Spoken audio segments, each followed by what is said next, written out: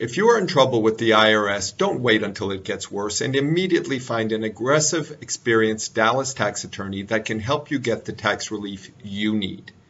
The law presumes the IRS alleged tax debt to be correct. The IRS can then file tax liens against your property in as little as 10 days after it has sent you the first collection notice. There are very real consequences to these tax issues, like the IRS seizing the money from your bank accounts. This is known as a bank levy. Or the IRS can order your employer to deduct a large part of your paycheck and send it to the IRS.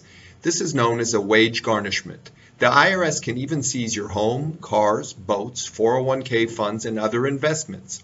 This devastating collection action can be averted with the help of a qualified, experienced tax attorney that can help put a plan in place to stop aggressive IRS tactics and put a plan in place to solve your IRS problems once and for all.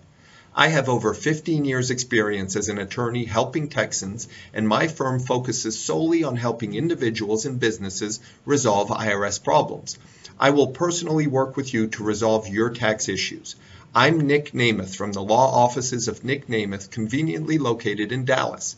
If you have IRS problems, please call my office and we will set up a free consultation to discuss your issues. I will personally meet with you and we can discuss putting a plan in place to keep the IRS away from your assets while we find a manageable solution to your problems.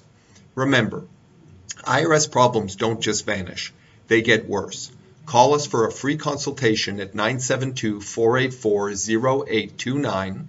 That's 972 484 tax. Or visit my website at myirsteam.com. Thank you.